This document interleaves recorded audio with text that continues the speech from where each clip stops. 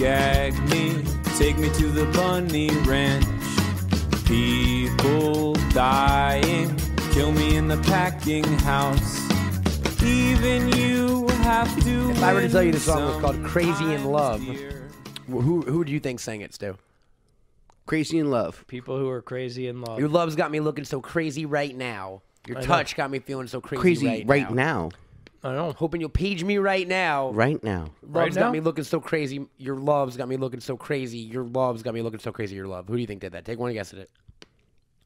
Your love. Nope, it was Beyonce and Jay Z. And guess what? You now have that recorded forever because welcome to Bunny Ears. Wow! I don't know you're recording. Bunny oh. ears. I'm not really good at that. Um, we were you were just singing the Actually- song though. Actually, he has zero shame because he's just like, no, like, Yeah, he doesn't care. That does don't give not a fall shit. into my Welcome wheelhouse, to Bunny and Ears. I'm unashamed. that didn't work out in my favor. Uh, I'm Matt Cohen, joined No, by you idiot. Yeah, because All I, I right. backed Stu up. That's all. yeah, thank you. What the fuck, man? That's the fun part about singing that having- song. no, listen, I'm laughing with you, but I was backing him. up. Having a it. podcast with three Everyone people wins. is great because eventually somebody's going to get ganged up on. It's fantastic. You just Yeah. jinxed yourself for the rest of the episode. Let's man. do it. whatever, whatever you say, waspy motherfucker. Yeah, I'm I'm uh, I'm Matt Cohen, joined by Oh, me? yeah, Yeah. if you want, I guess You, you, You are- always you- go you- you- first. You, are joined by me, I am, and your name. I am sir? also here. me Culkin. me Culkin, and you are Uh, exactly what Miller? exactly what Miller. Exactly what Miller. We'll take it. Uh, you guys asked for more stew. We don't know why, but here he is. Yeah, Stu. gosh. You have the hour. Do your thing. Oh, Yeah, thank okay, you. go ahead. Thank yeah, we're we're, uh, we're taking off our uh, So, headphones. literature. and, uh, Thank you. I'm glad all of you could join me today. We're going to be talking about books and people who write them. So, the first book we will be talking about is 1984. All right, we're I back. That's We're- the year that. Matthew was. oh, hey, we're back. Ah, we're back. We're Warren, back. we're sorry. Also, don't give out my fucking pertinent details. um, We're talking about all right. We're talking about Orwell. The uh, world was in chaos. We're talking about- communists everywhere, and Matt Cohen was born. we're talking, Matt Cohen was we're talking books this week, folks. It's the literature episode. yeah, literature. literature. We know that uh, if you're listening to a podcast, that definitely means you love reading, also. Yeah. So I'm sure this will be right up your alley. yeah. Oh, you readers out there. There you go. All you readers all, out all- there, all you guys that are in your cars right now driving you to work. bibliophiles. Yeah, yeah, all you bibliophiles driving to work right now. I'm sure you're reading your book bookworms, and listening to this right now. So we're going to talk about books. we are. Sweet. So what do we uh, like? Like magazines or what? I mean, just like I think book, actual books. Oh no. book, book Yeah. ad- books and books do you guys adjacent love kind of things. books? I do. I love books. Do you love books? I love book collections.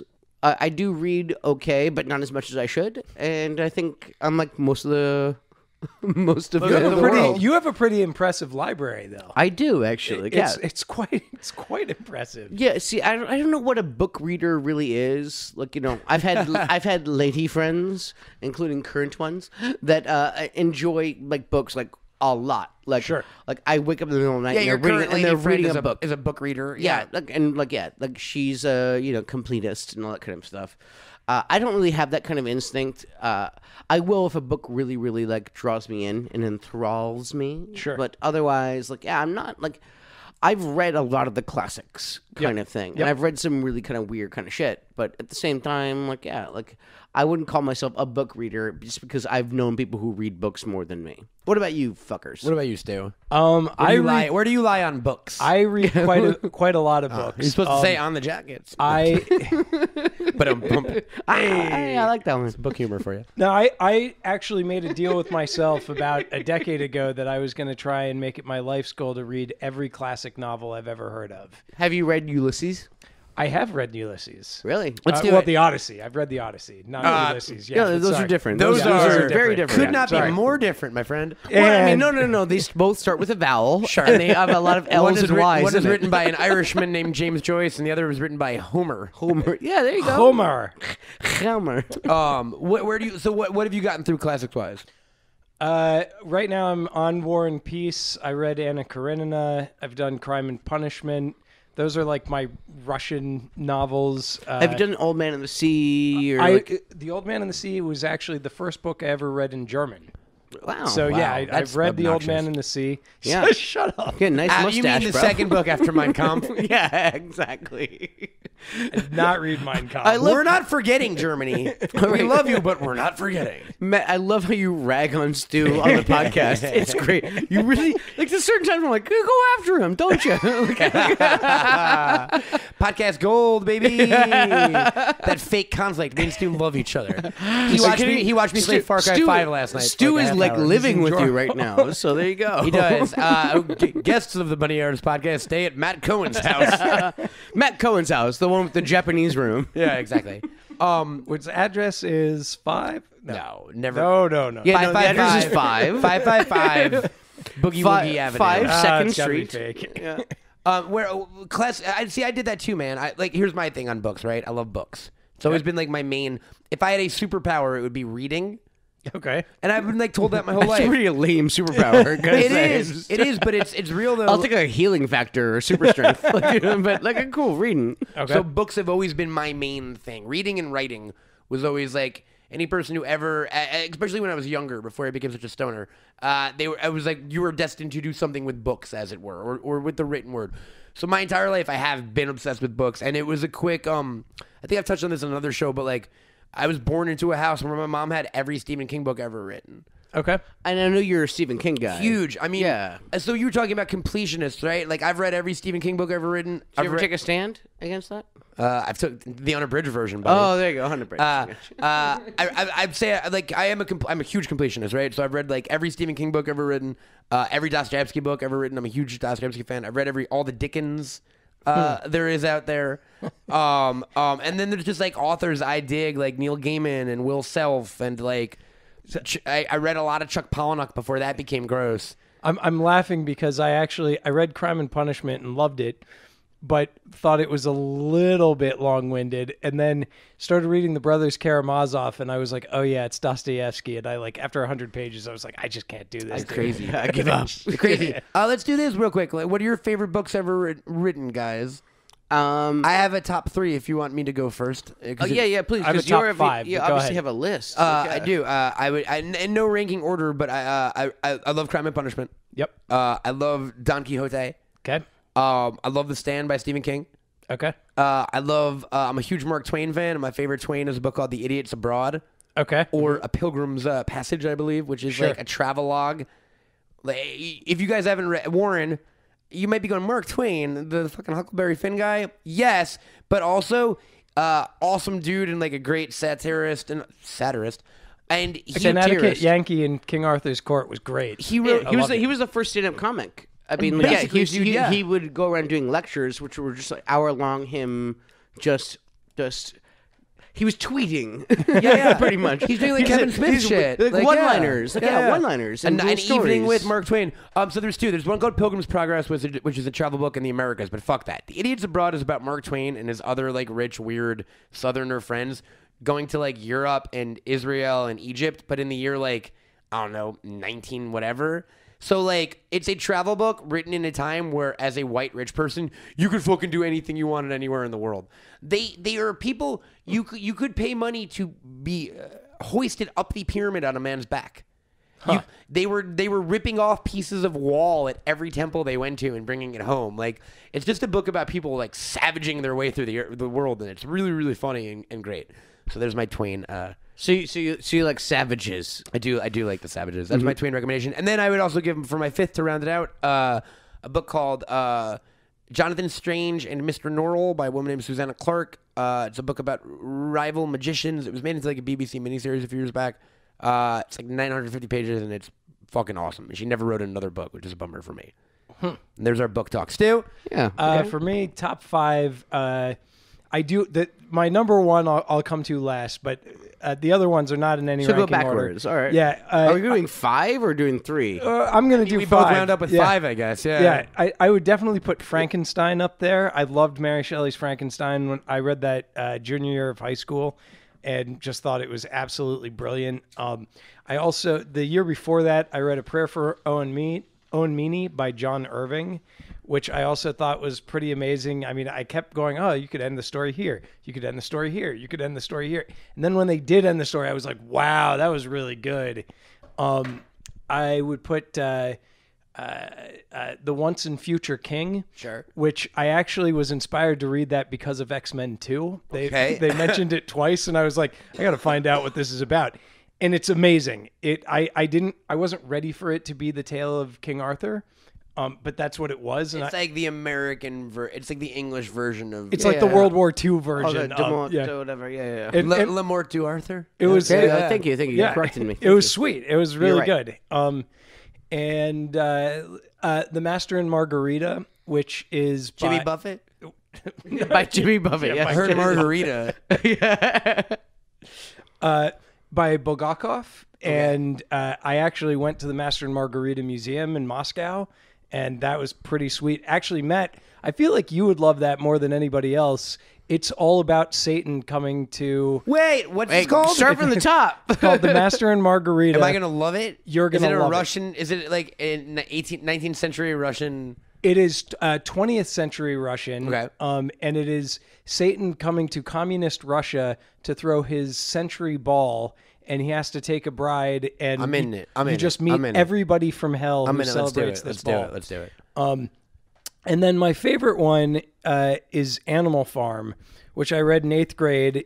I absolutely, I, I was still of the impression at that age that every book has a happy ending.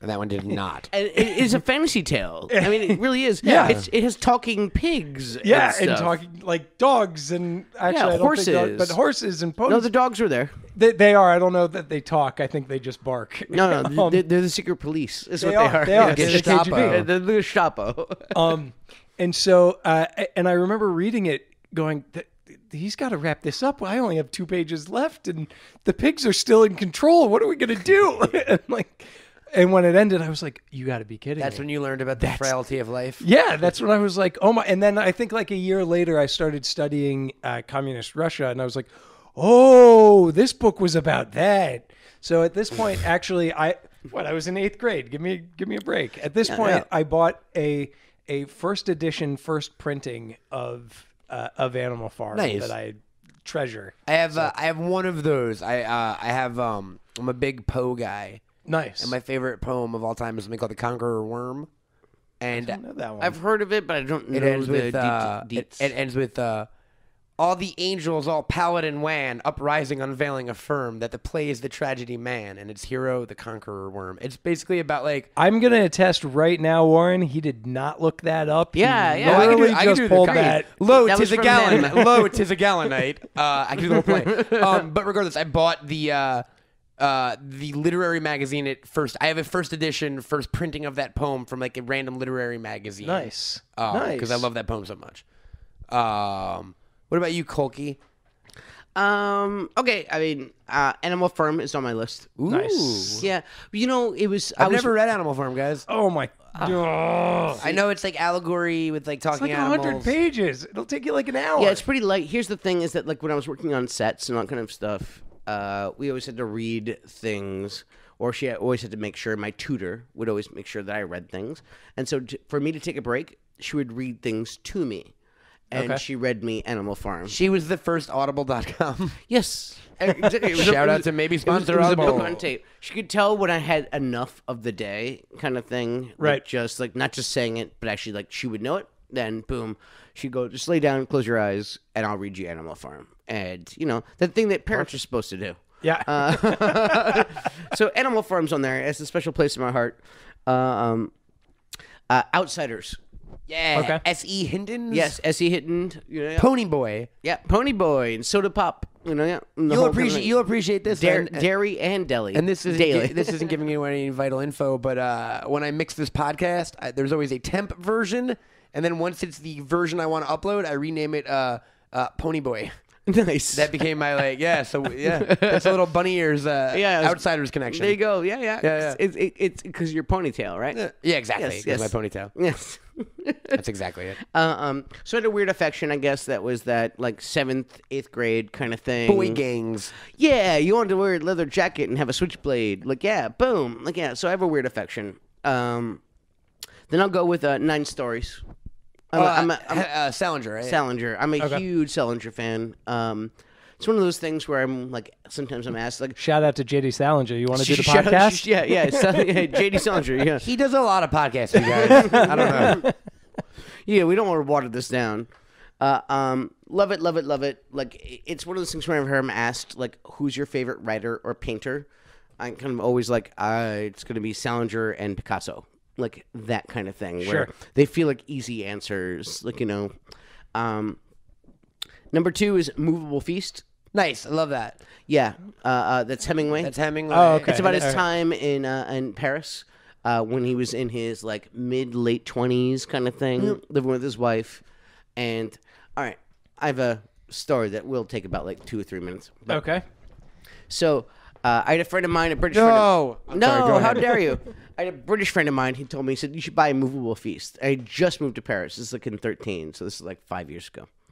Um, so I'm sitting in a cafe in a uh, place to uh, San Marco or whatever, um, and they say uh, they say, uh, oh, look, you know. So in my head, I go, oh, well, uh, uh, Shakespeare and Company. It's just a couple blocks from here, and they always sell English language books. It's a thing. So I'm eating oysters, drinking wine, and go, oh, I'll buy a movable feast. So boom, do that. I walk down there, I get the book and so I start. I said, "Look, um, I should read it somewhere like nice." And so I go, oh, I'll go to uh, Park Luxembourg, which is like a good half kilometer, like south kind of thing. So I walk along the river for a while, and I'm thinking, like, you know, I actually don't really like this part of the river. It's very touristy, very this that. But then finally, I get off of that, and then I walk down to, um, you know, uh, Parc du Luxembourg, and I sit down and start reading.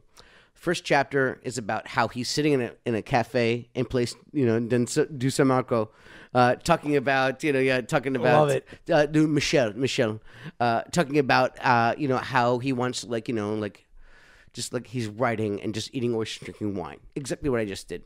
Uh, the next chapter is about him walking home. He's walking along the quays of the Seine. Yep. And how he um, he doesn't like this K or that K. This one's too busy, but I like this one. Talks about the sawmills, all kind of thing. Then the next chapter is about him walking to uh, Gertrude Stein's house and how she goes to Park Luxembourg.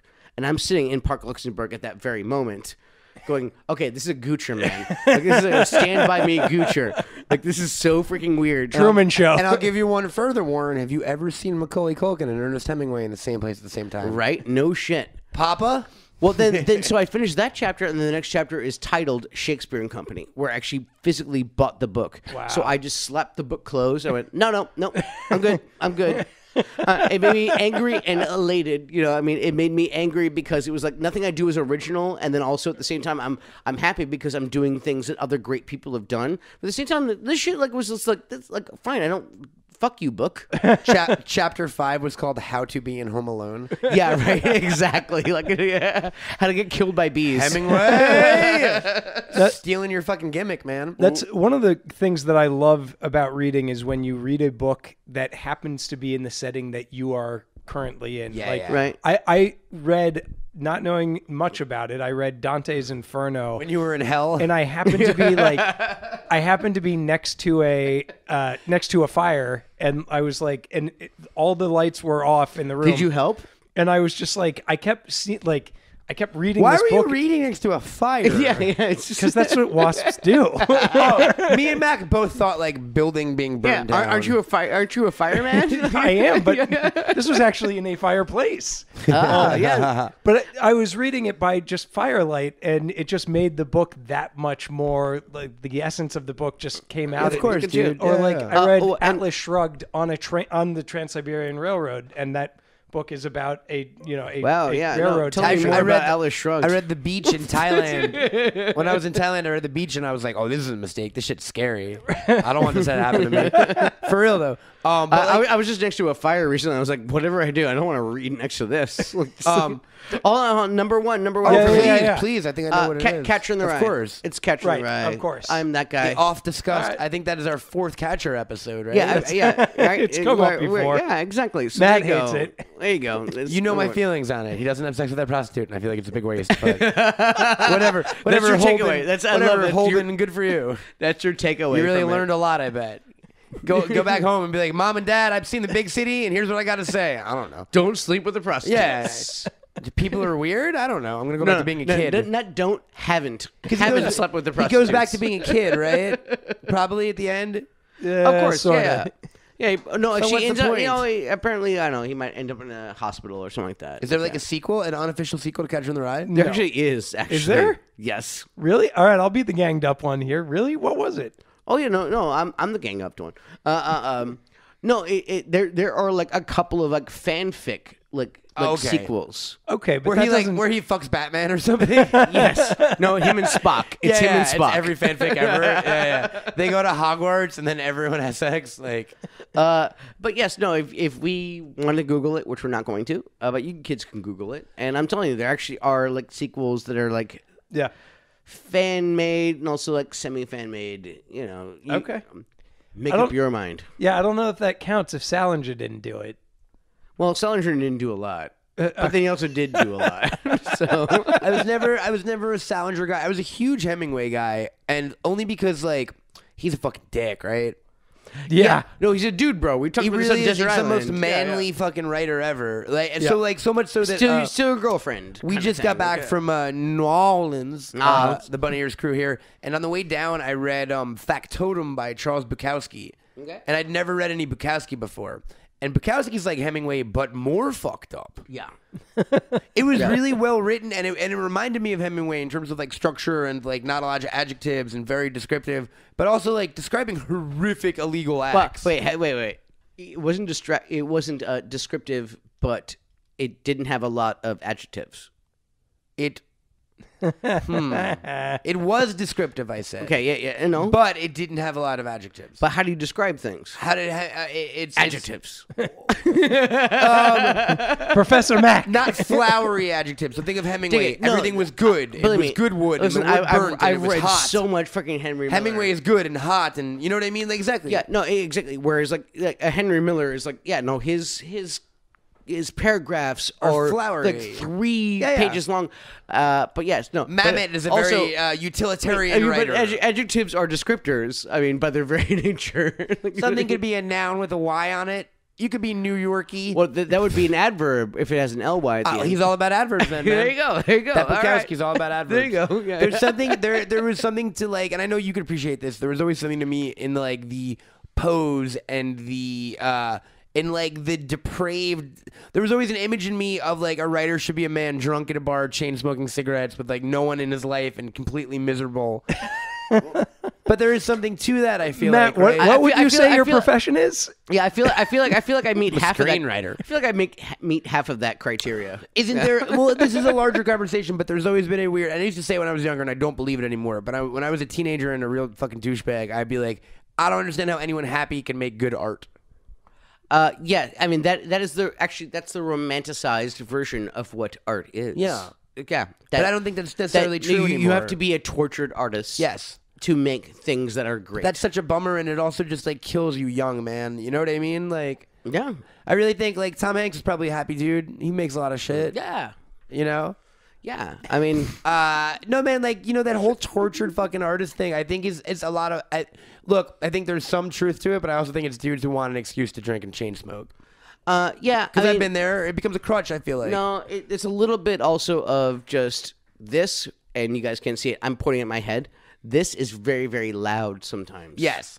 Yeah. It's just very, very loud. You, gotta can't dull- shut it up. Someone recently used the phrase "dulling their shine," Yeah. and I liked that. Yeah. Because it was like, yo, man, sometimes you shine too fucking bright. yeah. No, and it blinds you. It It's not blinds you. sustainable, right? Yeah, no, and like yeah, sometimes you hear the voices in your head that like you know, not in the schizophrenic kind of way, but just like yeah, like, Sure, what about wakes the- you up in the middle of the night because Um, don't forget to do this, this, this, this, and Uh, this. think of all the author, authors that like burnt out, or, or what about the, the Confederacy of Dunces, Confederacy of Dunces guy, right? Yep.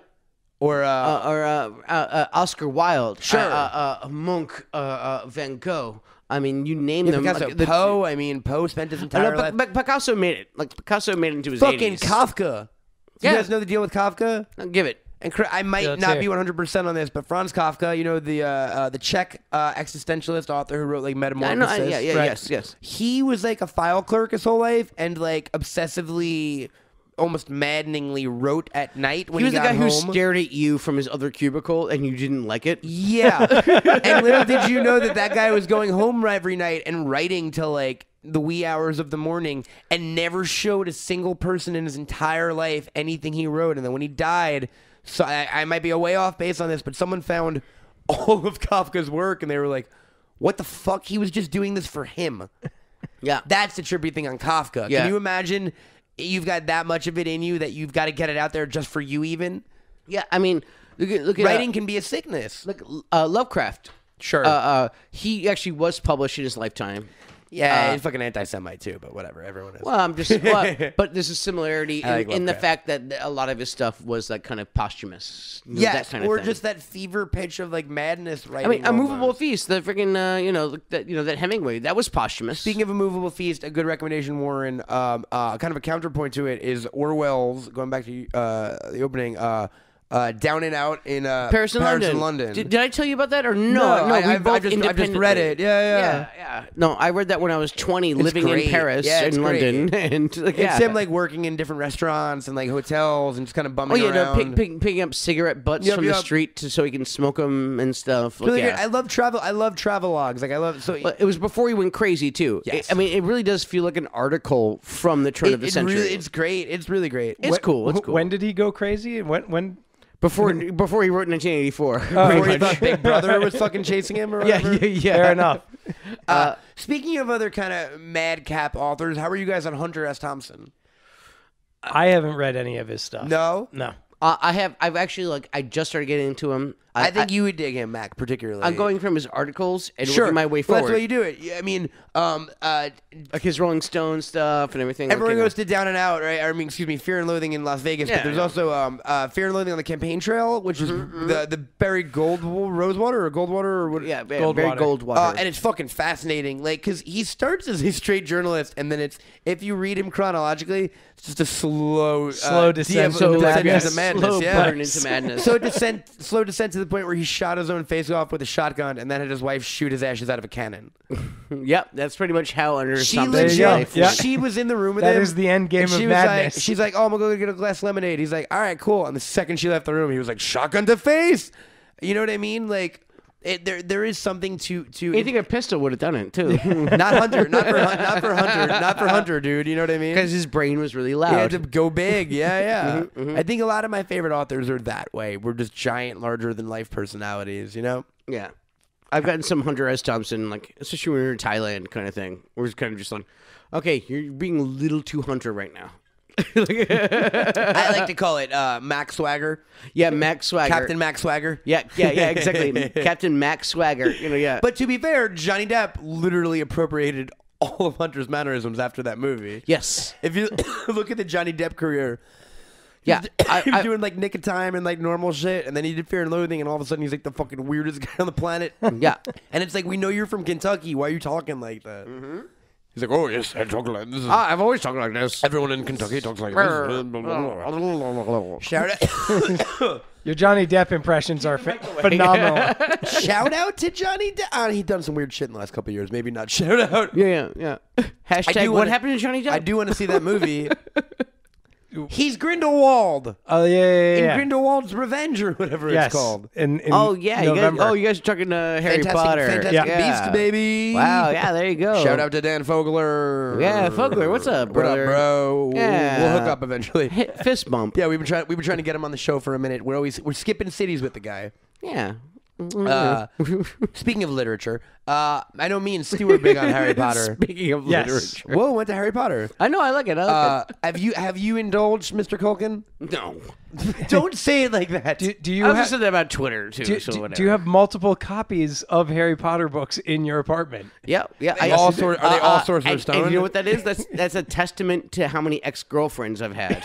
All right, so so you, They all try and give you Yeah. a copy. Yeah, No, I'll- no, you got to try this. I'll- yeah, I'll put that in the back and I'll see if I get to it. Yeah, yeah. All, all you p words. Like, yeah. we revealed earlier that uh, Stu is staying at uh, Cameltoad Manor while he's in town, and off times uh, around nine o'clock at night, me and Stu would get to a two-hour-long Harry Potter conversation for no reason. Yeah, I would say so. What was our most recent one? Oh, last night, literally, I was reading you as you were doing your taxes. I was reading you the Pottermore descriptions of all the different schools. That's true. That's true. Thank you for that. Castle of Bruxo oh. in Brazil, baby. Yeah. yeah. Do you guys know what your Patronus is? Uh, I mean, you can no, pick I'm your not a Patronus. nerd. Come on. No, you can't. Like, if you do a test on the website. Um, On Look, Pottermore. I have not read these books, and I have a Patronus. I can't So, remember. Come on. I mean, I'm I'm definitely Slytherin. I can't remember my Patronus right now. I'll be honest. no, you have to do a Q and A, man. Uh, what what I- I- house my, were you? my- my- I'm I'm a I'm You're a a ma- Slytherin. uh, no no I'm I'm Gryffindor and I'm a and I'm a Mastiff. I don't believe that you're Gryffindor. Look, at the end of the day, I, I'm heroic. I'm heroic. Not at the end of the day. I, At all Somewhere times about of the day. midday, about two thirty. yeah, no, it's like yeah. If I play RPGs, I always go Paragon. I always go blue. Oh, yeah.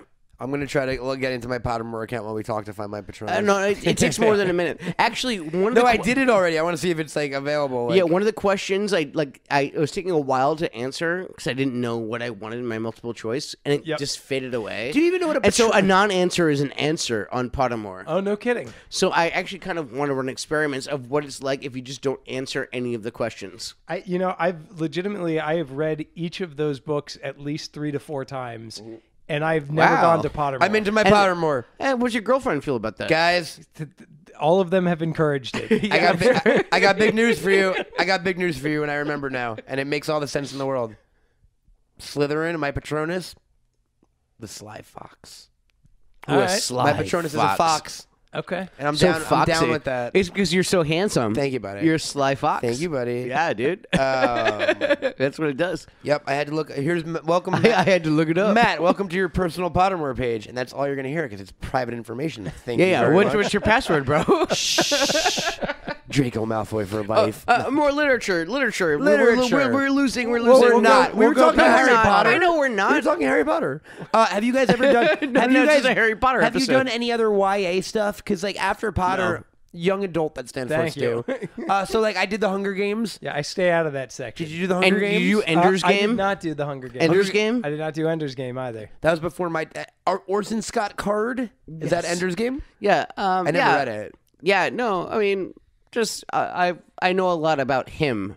About than I know Orson about Scott this Card. book. Yeah. What What do you know about him? Just lots of no, no, no, no anti-gay kind of stuff Oh, that's really? going on. Oh, not you know, how about this? How about hey, audience, Warren, uh, check out his Twitter account, and then all of a sudden you'll not like his books Yeah, anymore. I mean that kind of happened to me. Twitter ruined like and not not even a left right kind of thing. Yeah, it's yeah. it's actually like the guy actually kind of got a little gross. Dude, Twitter, like. Twitter ruined a, social media ruined a few people for me. And speaking of authors, I mean, I was a big Bret Easton Ellis fan before I heard the Oh, his- his Twitter opinions account? on anything ever.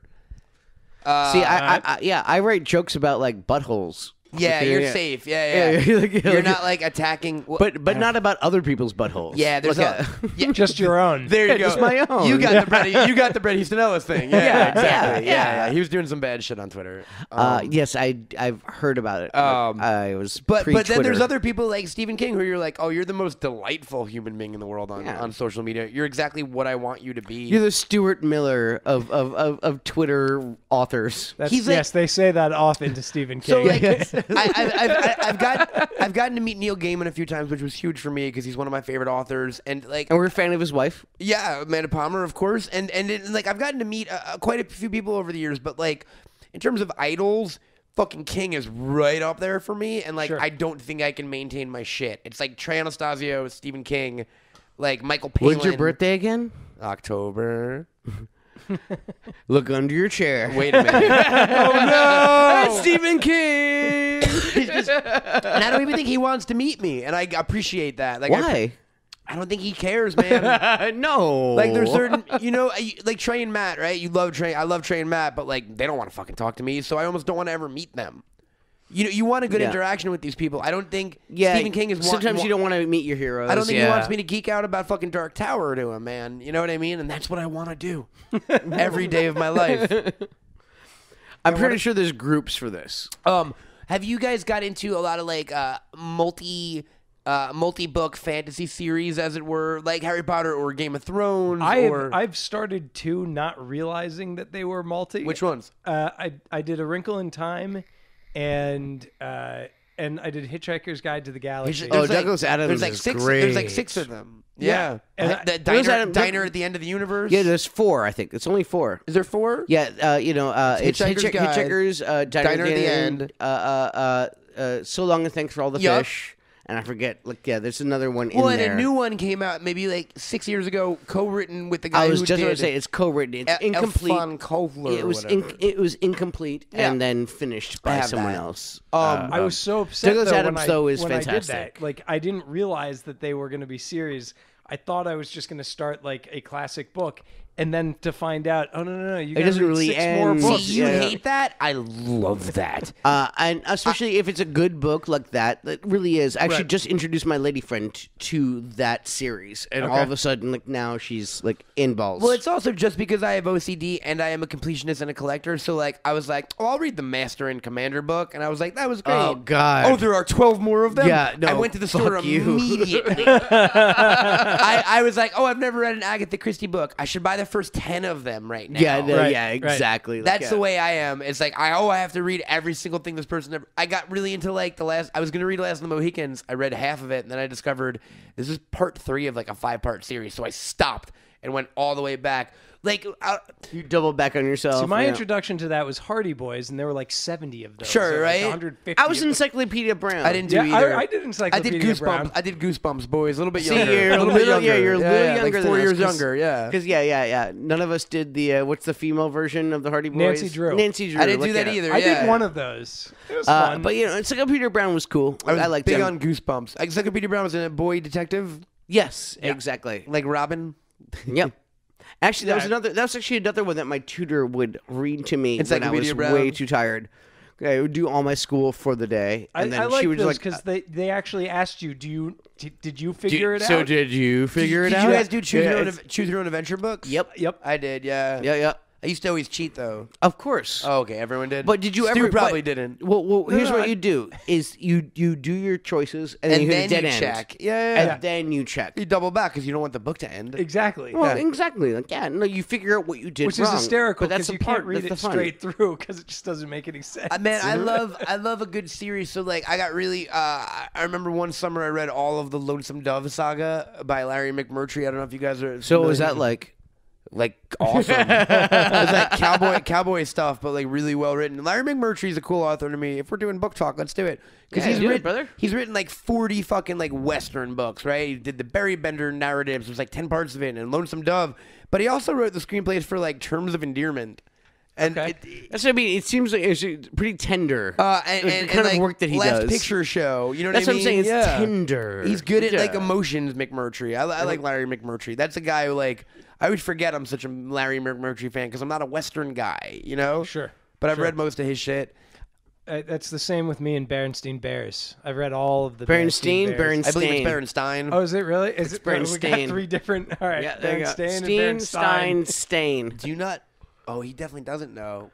Should we explain the Mandelaverse to Stu in another episode? Yeah, Yes. yeah, yeah. Yes, we should. Yeah, because he definitely has no idea what we're talking about. Honestly, that's almost a whole episode. we should do a Mandela Mandelaverse episode. Honestly, we'll all put on like evil mustaches. I'm down. I'm down. I don't even need for that. I'll shave my mustache. There you go. That's my version of an evil mustache. and we'll all just I shave it. yeah. Let's do an alternate universe one. Uh, I'm in. Um, I'm big into like series. So like, uh, you know, Lord of the Rings, sure, but like Dark Tower by Stephen King. There's seven books, and it's one of my favorite series of all time. No. Um, stop it. All right. Uh, uh, uh, you know, um, I really love the His Dark Materials books. Do you know what that is? I don't. Nope. That was that movie, The Golden Compass, with Oh, uh, sure, Nicole sure. Kidman. So that's a that's from a series called His Dark Materials. And here's a pitch on that. It's a kid, it's a book for kids, right? It's, it exists in a world where like people have magic, and like if you have magic, you have like a little animal called like a daemon that like is by your side at all times. That can like talk and shit. A. Navi. You know. Yeah, Yeah, ish. yeah, yeah. Like, oh, hey. Nice. like a, fa- a fa- Listen. a famili- Listen. Listen. a witch is familiar. A witch is familiar. It would be a good, a better way to put it, right? yeah. And I was like, oh, I'm cool with this, and I like that movie enough, and like, yeah, it's a weird fantasy thing, and people recommend it. And then you get, I'm not going to spoil the whole series, but then you get to the end of the first book, and, and it's like a 13 year old girl named Lyra and like this little boy, and they're like, "Oh, so we know what we have to do now. We have to kill God." So that book is banned by all the churches because it's an atheist young adult novel series yeah. Perfect about a, a book where sci- a universe where science and religion are at odds, and science is the clear good guy. But but Dante's Inferno was totally fine. Like you know, I love because, Dante's yeah, Inferno. I prefer Um, I prefer Purgatorio. Okay, check. Okay, check this out. What what's like the worst like book you've read? I would stop reading it probably. Yeah, Okay, normally. listen, you don't even have to give names, even. Like, but I'm just saying. You, know what? I there was one book that I read that I I thought it was beautifully written, but I was like just every ounce of it made me hate it. Which was that? Which was Mein Kampf. no, of course not. uh, uh, Lolita. Sure, by Nabokov. Yeah, it's, it's just sick. It's a little creepy. It's really disgusting, and like I got through Hey, it. don't judge people. I got through it, and I Don't literally. judge pedophiles. I, I, I read the last page. I picked the book up and I like threw it against felt the dirty- you wall. felt dirty? I was like, "This is kind of how I felt with disgusting. Bukowski. I'll be honest.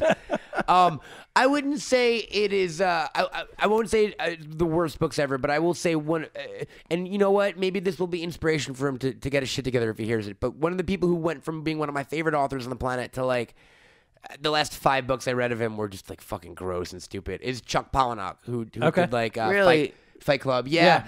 he kind of just it became more gross out and more gross out. I mean, that was the element he seemed to think that his audience was responding to was how like r- much rape and like disgusting stuff Right, could put in right. them.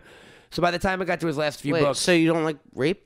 It, uh, not for the sake of shocking me, Oh, which I feel like he was trying to do at the end. But you like rape in other contexts. Uh, no, Mac. okay. okay. How much fucking editing work do you want me to do? Oh God! You know what? New rule: Mac's allowed to say rape. You gotta earn it. Gotta there earn you go. it. There you go. Um, no, but just that's a guy who like I thought had total promise, like Fight Club and, and Survivor and Invisible Monsters, and then just kind of devolved into like a shock. I guess shock shock authoring in my opinion. Jock. Now, you and I talk about another author a lot that you've gone way down the rabbit hole with. I haven't quite yet, but uh, which is Anne Rice. Yeah, totally. Um, I When we were when we were in New Orleans, I went to her fucking house. I went to visit the Mayfair Mansion. Oh, did you? To say hi to my ladies. Yeah, yeah. How'd that go? It was great. We stood outside of it, Yeah, and then yeah. another And couple, then? and then another tourist couple came up and they pointed at it, and I was like, "Oh, great, we're at the right one." and then my nailed it. mom, who, my mom, who got me into Anne Rice, funnily enough, I posted a picture on Instagram and I wrote, "Here at the Mayfair Mansion," and my mom texted me and she's like, "That reminds me of Anne Rice's house." I was like, "You got good eye." You know, that sounds like a really fulfilling uh, trip. Yeah. Uh, I went to WrestleMania and Anne Rice's old house. yeah, nailed it. I think you nailed it, bro. Um, but uh, yeah, man. Uh, I love like the vampire books, but I specifically like like the Witching Hour books are my favorite. Right, Yeah, yeah. right. Anne Yeah, Rice I is only good. got as far as Queen of the Damned. Um, she's gotten a little, and again, the woman's been pumping out books for like thirty fucking years, so like law of diminishing returns a little bit. Yeah. Yeah. they're a little wonky. In the latest Lestat book, he went to Atlantis. Okay. Wow. He didn't just jump the shark; he jumped like the fucking lost he jumped, yeah, continent. yeah, yeah, yeah. he jumped the ocean. Yeah, so I was like, all right, I get, I get what we're doing here. But I'll, I'll check in on Anne Rice every night. There are certain authors like if there's a new book out, I'll read. Sure. Um, did you guys ever uh, see the movie The Relic No. about the monster in the Museum of Natural History in New York? I feel like I did, then I forgot. Tom that I watched Sizemore. it. Uh, um, so the guys who wrote that are uh, Douglas Preston and Lincoln Child, and they've written like thirty fucking books over the years. I've read every one. So there's certain authors like if there's a new of his, Right, there's certain authors that write the relic. yeah, and the sequel Reliquary. No, there's certain authors. That wasn't Night at the Museum. Uh, it was based. On, Night of the Museum was based on the relic. Oh, okay. Oh, okay, much better. Uh, there are certain authors I will read whatever they write. You know, uh, a new one for me is Joe Hill, who's uh, Stephen King's son, actually, who's Okay. written like six novels in the last few years, and they're fucking awesome. Uh, most recently, a book called The Fireman, which is so fucking good. Yeah, yeah. Shout out to, to Joseph Helion Hill. Yeah. The other cool uh, thing why, about why is his last name not King? You'll dig- Why? you'll dig no, his I do. mother's I do actually. Oh, I you do, know the I- I- story? I, do know the story, but no, Do you, you you tell it. You don't. tell it. So yeah. he published his first two books without anyone knowing he was Stephen King's son, and they both got on the bestsellers list. There you go. He wanted to prove that he could do this Could without, it without his dad. dad's and, name, And once he did that, him and his dad like started collaborating on short stories and shit. It's, it's fucking awesome. Awesome. Like the Awesome. pass is torch. The pass is torch. the pass is torched. uh, the torch is No, passed they're, they're, they're torching their past. in, a, in a really satisfying way for me. In the fact that like my favorite author of all time, son, is now in my also top t- you know, 20 favorite authors of all like time. nice, another thirty years of this. Yeah, yeah, no, yeah, totally. yeah. this will work for me. Yeah, keep that More, font more, going. more of you not believing in me, Dad. Like more of me dissing myself from you. Um, are there any are there any authors you flat out hate? Like they don't like okay, to read? I'm not a fan of the Brontes. Okay, I can't. I, I just. I'm I not. just We, can't. we've talked about that. I'm not a fan of that entire genre and period. yeah, Yeah. I have no idea who. You, It's- oh, oh, oh, sh- uh, uh, Wuthering Heights. Charlotte Yeah, Bronte Wuthering Heights, or Jane yeah. Austen. Yeah. Any of that kind of stuff. Honestly, it doesn't. It it. Sense and Sensibility doesn't do it for me. Yeah, it's like okay. What's the opposite of tickling your balls? Ripping, scratching your balls. Yeah, yeah, yeah. Like biting. 'cause like, I enjoy scratching. gnawing on your neck. I don't know. Uh, it, it doesn't. It doesn't work for me. Um, yeah, they're talking about like a time that like just isn't interesting to me. Right. It doesn't affect me. It's what I Yeah. said, and, and uh, we got a shout out from Rose Williams, we know who is British, because I was like, yo, the time in England where everyone's just like fancy and rode horses and shit, like doesn't do it for me. But Dickens, where they're like living in basements and everyone's selling their body parts for like moldy bread, bring that shit on. See, I was going to say sound Dickens is chauvinist. actually one that I'm not really that into, which kind of sucks if I'm going to put myself through reading every classic novel mm-hmm. because what would be the one for Dickens? Because Dickens so is I actually read the guy. the- Tale of Two Cities? No, the only one that I've read by Dickens was David Copperfield, and I was like, I got done with it, and I was like, I really don't want to read was anything else depressing? that he's read. No, not because it's depressing, It's because dense. it's just so dense, and you get through it, and you're just like, I was That's like, some of that Henry dude, Miller that I was you talking said about this before. Or 10 Dostoy- or. Dostoevsky. or Dostoevsky. It's like, Exactly, you said this yeah. ten times in ten different ways. Get on with it. G- Get on with I think it. all of my favorite authors are No, I know what the lamp looks like. Shut up. exactly. Whereas then you get Hemingway is the polar opposite of that. Yeah, he right? barely, like, and you're like, touches no, on it." say what the thing looked like. He's like, I Tell me ma- about the lamp. I will married. I married woman. She is a woman. She has a woman face, and you're like, what's her name? Wait, what's your name? What's your, See, I don't even think my wife? said My woman. wife died. I was married, you know, and you're like, no, we didn't. No, know. I didn't know that. that. Tell me about your wife. God damn. My granddaughters will appear in Woody Allen movies, or at least one of them. no, but I mean, the in, in the writing from that time, everybody was, you know, people weren't writing in books. They were or writing for books. They were writing Magazines. You know, they were writing Literary for magazines, magazines. Little and they were Serial- getting serial- paid by the serial- word. serialized. And it's like it's so obvious that they're getting paid by the Okay, word because they're guys, like, let's I got a stretch out. contest for us. Let's let's do a thing. We all sit around. We write by the word. All right. I will pay you a. Uh, uh, uh, five cents per letter per oh per letter. Per letter. All per right. letter, and whoever writes the most letters in actual words, like you guys can't cheat. In a ti- in a Anti-disestablishmentarianism. sense? Yes, within one hour, who can write the next great American novel? Ba- baby shoes worn too many times. Yes, yeah, exactly. Got it. Nailed it. Yeah, you can't just go like A E E O No, I got T it. V. You know, like, no, you have to Uh, write real speaking words. of uh, great. no, no. So you didn't answer my Oh. question. Are we doing this? No, probably No. not. Oh, okay. That's Uh, too much work. All right, yeah, fine. yeah. It's a lot of work. We also actually. have You're real right. jobs we're like neglecting for bunny ears and shit. It's, it's true. It's true. Our editor Sean Touche. Pasquale would fucking kill you right now. You know what? Hey, no, guys, no, no. take here's- some no, time out of your here's- workday and do a bullshit. No, fucking- here's how, here's how we do it. We, we we get him to do it too. we get him to do it with Okay, us. we want See, the the problem is company to he'll do it. thrive, Yeah. and yeah, if yeah, he's yeah. doing it, now we don't And- have anybody and, running and the Nicola thing. Word, come on. man. What about the Bard? Where do we fall on him? The Bard? Oh, good the, old the Willie Shakes. Good the old old Willie Willie Shakes. Shakes. Yeah. Snake's beard. Yeah, Willie Willie Shakes. I mean, I, I, I think he actually has some talent. I think he shows promise, and uh, Yeah. I think we should give him a, a, a one book deal. What are your Yeah, go- what's and your, what's, where- what's your favorite? Bright future. Bright future. Uh, I got. Have you read much Shakespeare, boys? I have. I would say Hamlet. School, and it's such yeah. a. It's such a cop out, but like I think Hamlet's just a great, great play. I like uh, as good as it gets. Uh, not as good gets. No, I'm, I'm way The, off. the Jack No. Nicholson movie? No, no. That is a great movie. In Max Uh, defense, uh, uh, no, no. I Hold think on. that's James L. Brooks. No, no. As as gets. Uh, uh, uh, uh, as you like it. as you like it. Thank you. I'm, I'm not. I'm close. I'm way off, but I'm close. I like About Schmidt.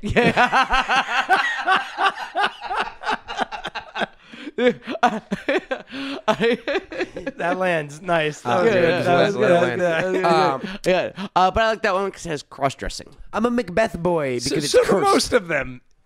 Yeah, but Have no, no, no. cross-dressing. This one actually involves cross dressing plot. in the plot. Oh, okay. I mean, Also, I like King doesn't Lear. Twelfth but- Night have that as well? There are a few of them that also involve cross-dressing within the plots. I mean, all the so, comedies. so does as good as it gets. Yeah. I think all of the comedies, Shakespeare was like, it's either a tragedy where a guy's wearing a lady dress, and that's and that's fucking funny. hey man, I would call that a comedy. Um, I'm a It's Mac- timeless. I'm a Macbeth boy because you got like witches, you got like Sure. the You're like- play, the actual play itself is cursed. Yep. How do you feel about Macduff? Uh, hey man, no no man of woman born, right? Yeah, there you go. See, there you go. Uh, I like Macduff. I also, uh, I, I honestly love Macbeth. That was the first time where I was like, oh, Shakespeare isn't boring. It's fucking dope. Yeah. well, see, I liked it more when it was explained to me. Right. Or like I would watch a documentary about it than actually reading it. To be completely honest. So pretty cool. It's basically like the Or witches. you had Miss Fitz explain it to you. I mean, one way or the No, other. no. It's like if you don't if you don't had know Miss Mac- Cusack back if- then. Shout out to Miss Cusack. Here's the stoner version of Macbeth. If you don't know it, there's like these witches, and they're basically like, "Here's all this shit that's about to happen," and then Macbeth comes, and he, they're like, "Yo, this shit's about to happen," and he's like, "No, it won't," and then it all happens, and then the witches are like, "Told you so." Macbeth. And end scene. Yeah, and then you can't say it. You can't say it in a theater or people die. That's the curse of Macbeth. That is. That is. Um, I want. Uh, do you, know what? Do you know what it's actually based on? Uh, I don't want to almost give it away because I wrote a movie called "Fuck You Shakespeare" about this. But uh, do you know why you're not supposed to say Macbeth in theaters? I don't. Uh, so the actual witches, the witches incantation in Macbeth, like the double double toil and trouble. Yep. Um, is he didn't write that? He took it from an actual Hec- Hecate like ch- witch prayer. He took it from like you know an ancient kind of book. So people are saying when when you see them show Macbeth, they're actually invoking that that that witch or that demon. They're like inside the text of Macbeth is an actual unintentional on his end, but like prayer Curse. to the god Hecate. You know, Go on. Go on. Hecate or whatever. so yeah, that's so that's not why you're. It's it's unlucky because you're actually invoking like a fucking demon, sort of. You know. Did they? I've actually heard that that Yeah. Macbeth is actually an unlucky. Yeah, that's why you're not to supposed. To, you're not supposed to. So when they stage it, they never call it Macbeth. They call it the Scottish play. Right. Like you're literally not allowed to say the word Macbeth in a theater of any sort. Yes, that that is actually Yeah. a thing. Yeah. Um, were you the one who taught us what break legs means? Break a leg? Yeah. I mean, probably. Do you know, like, see, so that's another actor superstition. You don't, like, I have friends who are actors. If they go on an audition, you say, hey, uh, you don't say good luck. You say break a Say leg. You say break a leg. Yeah. Okay, so there's a little like a turnstile. There's a you know there's a you know wheel that they pull the curtain up with. Right. So like you finish a show, they drop the curtain, shebang and bang, uh, and then they lift it up and you do your bows. You don't know and, this, too. And then they that? and You then don't they know this. and then they drop the curtain again. Right. And then if they want a you know Another, another ovation. yeah, yes, you know, and so boom, you do it again, and so the idea is that they pull the curtain closed and open so much that the rope breaks, It actually Right. breaks the leg of the curtain. Right. the leg of the curtain, and then boom. Like, so that's why they say break a leg. Yeah. While I found that very informative, you know I majored in theater, right? What'd you, what'd you do with it? I I, I, I Have tried. you, have you done theater? Did they I'm teach doing you the podcast. Did they teach you that in theater college, where they're like, "All right, first Did you day." know this one? I, I did. I, I I haven't heard that in a while, but yes, I Okay, did know there that. you go. It's, it's see, been about see, 20 so years. Matt was wrong. Yeah. I was wrong. Only I learned it. New. I know. Sorry, guys, I wasn't in the theater. Not everyone was in uh, Mommy Dearest in the West End or whatever. What was your show called? Madam Melville. Matt Oh, there you go. Melville. Yeah, Daddy I Dearest wish you in the were West End. Yes, that, that's what Daddy it was called. Dearest. Daddy Dearest, Dearest and the West End. Yeah, and the West End boys. Um, Great. I'm writing a short story now called Daddy Dearest in the West End. uh, speaking of shorts, were you guys on? Um, uh, I loved uh, uh, uh, Kurt Vonnegut. I was a big Vonnegut guy. Okay. You know, I haven't gotten into him yet. I feel yet. like you would dig that. I'm using the word yet Yeah. because I uh, everything I know about him and what like I want to be involved. Uh, yeah, I feel like you would want in on that team. yeah, are you kidding me? Like He had a real jumping around sense of time, humor. jumping around time and space, and Just everything. involving Yeah. aliens and weird language. Every book like, was just it a- all it all like yeah, the, it it, tickle, it tickles me fancy. They all just have a real weird twist on. He had a real dark kind of sense of humor, which I appreciate. Uh, yeah, I'm a big fan. yeah. Yeah, I read I, I read Slaughterhouse Five this year actually. Did you? Yeah. That was your first one. Yeah, yeah. yeah, it was my first. and and I thought it was great. There you go. Yeah, there you go. Done. They're really hey, like. what'd you think of it? Speak opposite of dense. They're like the most approachable, easy to read books ever. If Yeah, get. There's absolutely. like big sent, like big letters, and like there's the paragraphs are. You know what I mean? yeah. Yeah. Um, they're they're they're short little baby ones. Uh, I really liked a lot of Hemingway's short stories. I love Hemingway, Um, not to bring it back into your Yeah. wheelhouse, but I mean, or I don't yeah, know why yeah, not. no, no. I brought it. I was. I brought up Hemingway. Like, and, uh, yeah, we all love Indian Hemingway. Summer, I think, is one of them. Um, the End of Something, I really liked when I was younger. Uh, and and a lot of Edgar Allan Poe short stories. well, Um, that's See, you're The you see, Telltale you're, Heart Look, yeah, and- look, listen, Nick. Yeah, you're really stroking Matt right now. I now. know. I mean, like, yeah, no, you're Well, hitting, uh, you're hitting his wheelhouse. Here's some, brother. here's some ones I post like. stuff for you. Everyone thinks of like the Raven, right? Well, like he wrote a bunch of poems, you- you right? But but it's the Once short. Upon a Midnight Jury. Yeah. Yeah, as I pondered weak and weary over a quaint and curious volume of forgotten lore. Um, uh, Vine. Sir, quoth I, or madam, your I forgiveness entreat I you- implore. Yeah. Sir or madam. um, uh, But the fact is, I was napping when so gently you came, Came tapping.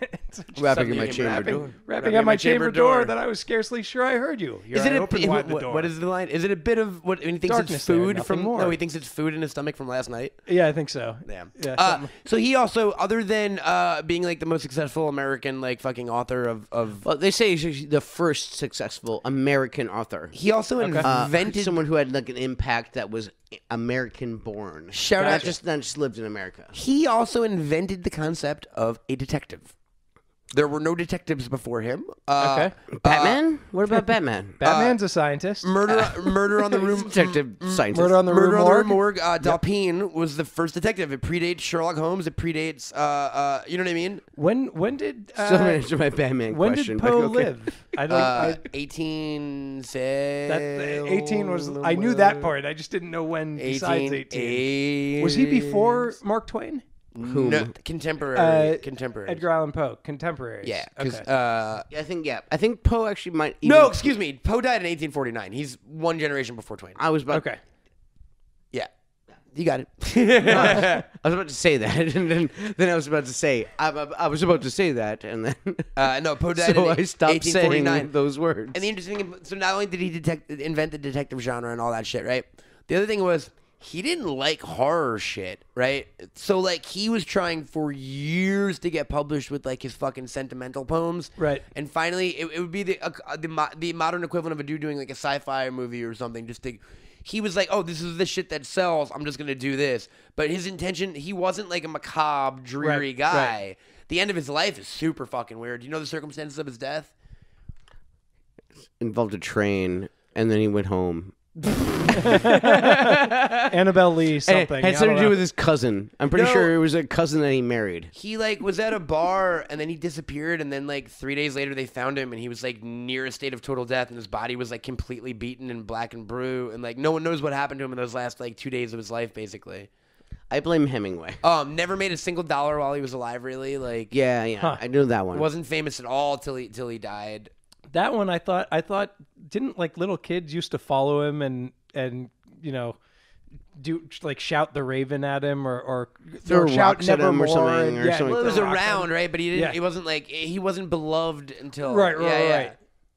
He's like it was it was like Stephen King. I mean Stephen King to this day like is probably the most prolific American author. I think he's written like 50 fucking novels or something and he's certainly the most best-selling American author. uh, of of living authors, I think he does actually hold the record. but will never get the respect of a you know Poe quote unquote fancy American author, a Hemingway Uh, or a, you know, I mean, the thing is that Poe again, like he Was died, right, but he- he died before his time, and it was like, and he eventually found his like but you he know was his writing pop. voice. He was writing pop fiction, just like Stephen King is. Poe, I know. Poe was writing the, what was the fiction that was and- popular at the day. So was Dickens. So was and what I'm saying is that didn't find their fame Sure. until after until they were after. dead. Yeah, people So even Stephen though King, King, is totally like you know alive as far as we know.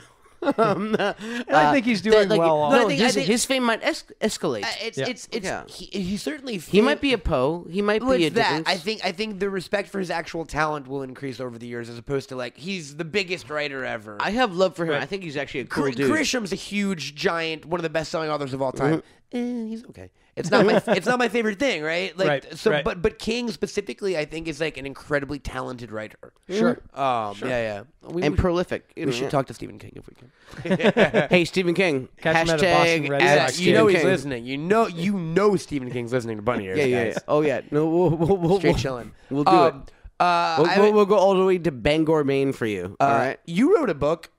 Yeah. How's that?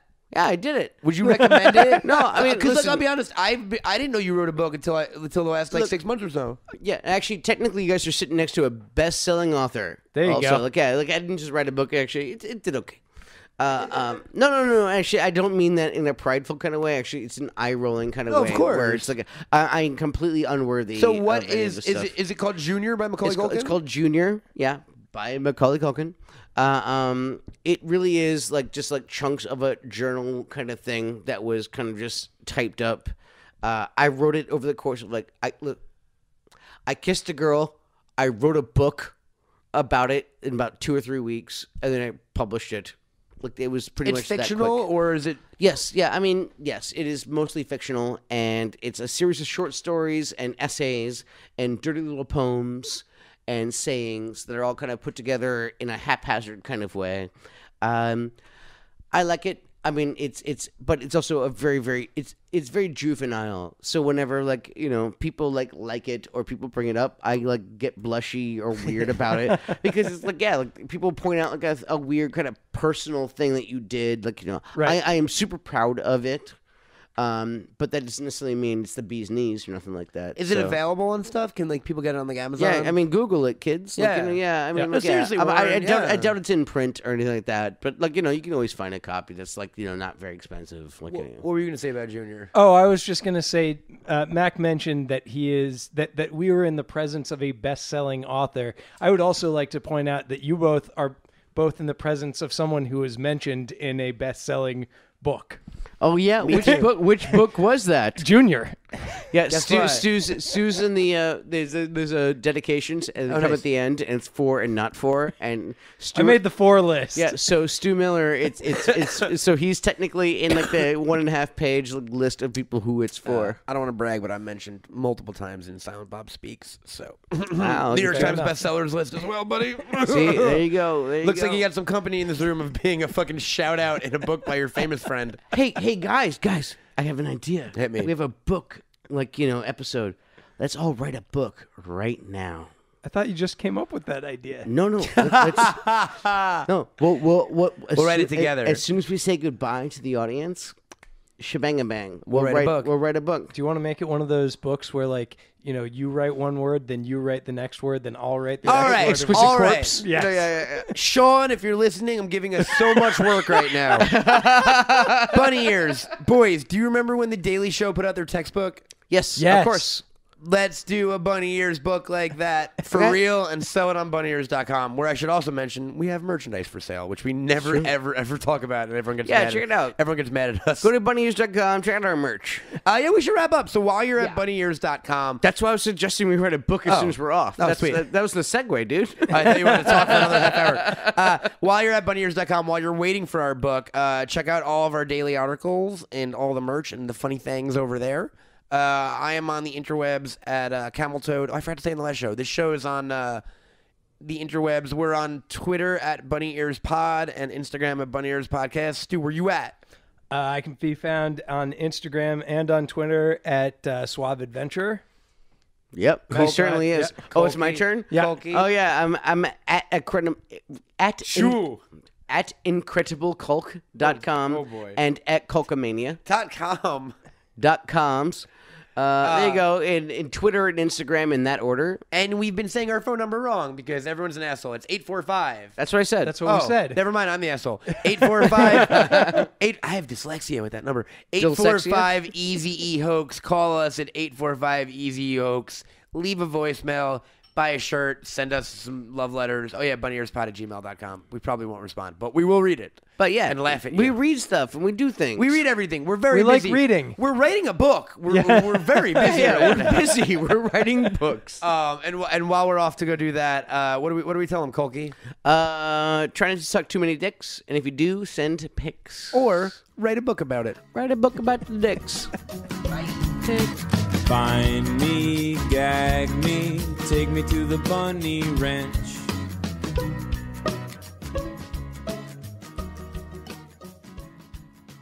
Find me. Hello, Matt and Macaulay Culkin. Um, you know, last week we heard a little bit of my boy. Stu! But you keep him in the background, and everybody knows nobody can keep baby in a corner. So I haven't listened to today's podcast. It's Wednesday. But I'm just hoping that next week or after the podcast today, I can scream to the hills, Stu! Suck some dick. Bye. Matt, Matt. It's Pat. I know it rhymes. Quit fucking bringing it up. Listen, dude, the last like two or three podcasts, my shit hasn't been on the end of the shit, and it's getting real fucking annoying. So this this is the last time, last fucking time, or I'm gonna find Devon Sawa's podcast and pimp the shit out of it. All right, fuck you guys. Suck some dick. Hey, it's Caleb from Jacksonville again. I had to walk out of my office because there isn't shit to do at Mad Writer's Block, and all I want to do is take a shit on the rug in my office and walk out. But I haven't done it yet. So, calling to let you guys know, you know, close to that edge, and uh, talk to you later. Bye. A Bunny Ears LLC production. You are freaking lumberjack!